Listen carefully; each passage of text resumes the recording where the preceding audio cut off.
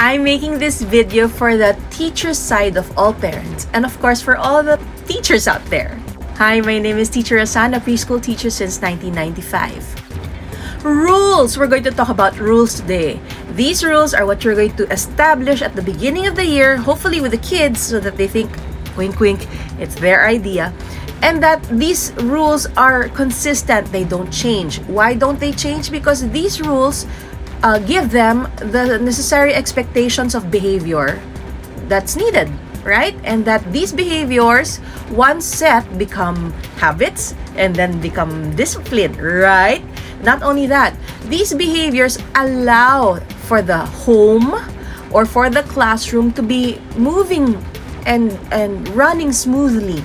Nobody, hopefully, will get hurt Everybody's happy, everybody shares, everybody is safe.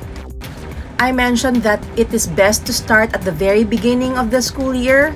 Well, just in case you did not start at the beginning, start now and say why.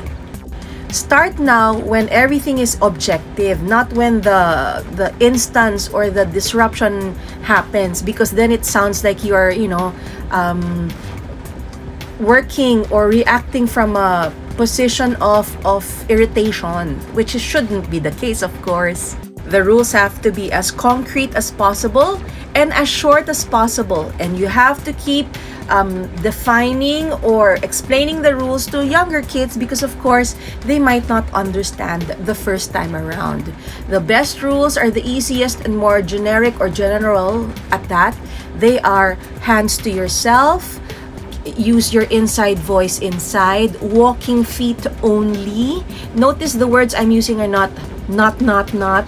Um, you think of or reinforce or just repeat the things that you want them to remember. Um, uh, wash your hands before and after snacks. Wash your hands after you sneeze. Um, wash your hands after cooking.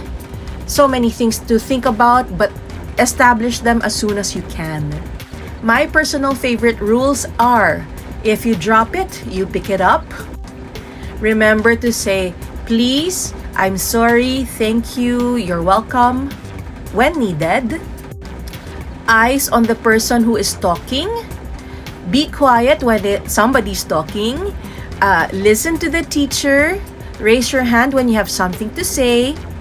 Sharing is caring. And the most important one, pack away after you play so that we can find them the next time or the next day.